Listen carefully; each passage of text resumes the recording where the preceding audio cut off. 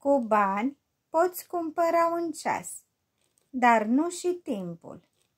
Poți cumpăra o haină, dar nu și omul care o poartă.